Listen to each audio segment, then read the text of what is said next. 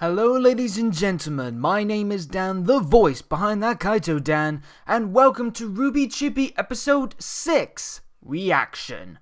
Yeah, we're now on to Episode 6 now for RWBY Chibi. This thing's really starting to get on a good run now. And after last week, that was probably my favorite episode so far, with some of my favorite skits already seen in the series, especially the Shadow People skit. So I'm very excited to see if they can continue doing so many great skits at this point in time, or if they're going to be a bit, you know, lesser than that. I don't know. Either way, I'm excited to see what's next.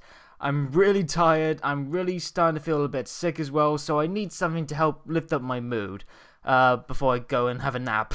So uh, let me just get sorted. Headphones in, switching over to the episode, and we're gonna begin in three, two, one. Again, still wish I could go to RTX, but there's always next year. Plus, I'm probably going to go to uh, London Comic Con on our end, where uh, Rooster Teeth goes sometimes as well, so I'm looking forward to that. And now into the episode. Oh yeah, the uh, Summer of Animations bit before. By the way, seen the first episode of Camp Camp? Love it. I am on board like a shot. Oh god, more Weiss chores. Again, she doesn't seem the type that would do chores. She does it well, though. Uh-oh. Zwei! Blake! of course! Cats and dogs aren't exactly big fans of vacuums. Not as bad as Professor Peach. I like her. Yeah, but she's not around very often. Who is Professor Peach? We have yet to see her. no capes! Time for class.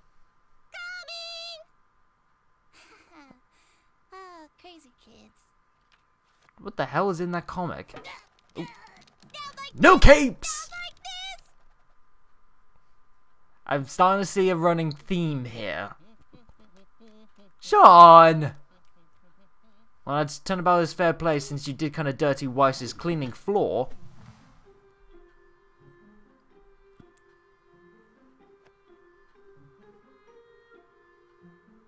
Oh, I think I know what's gonna happen here. The man with two souls, two? Uh-oh. See, this is the drawback of liking books, but also using them as bed support. Don't use why.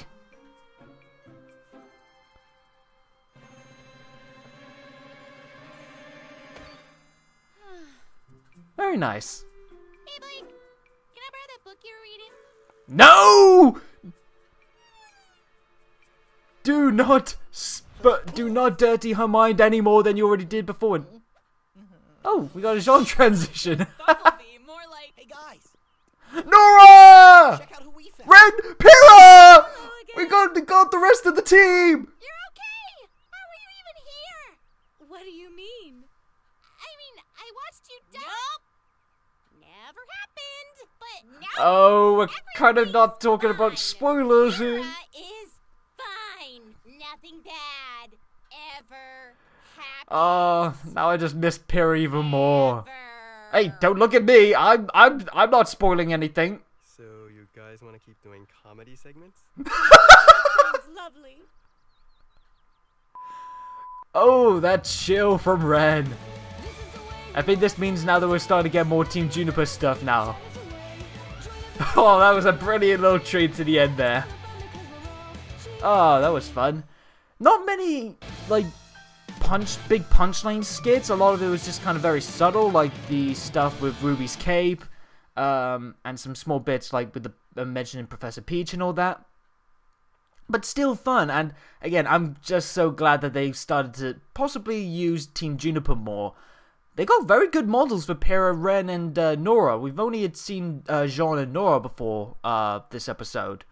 Um, and I guess now that they're kind of curtailing around the fact that, yeah, things happened at the end of Volume 3, but for the sake of our show here, the comedy spin off, maybe we're not going to reference it just yet. Maybe at all. So that's fair because uh, I think we can do a lot of good comedy bits with um like Pyrrha's ma- uh, control over magnets, uh, Ren's sort of calm, cool nature, and Nora being Nora. So I'm looking forward to seeing what's next. If it seems like Team Juniper's up to bat now, I wonder if it is just going to be them as well. Uh, but yep, that's it for episode six.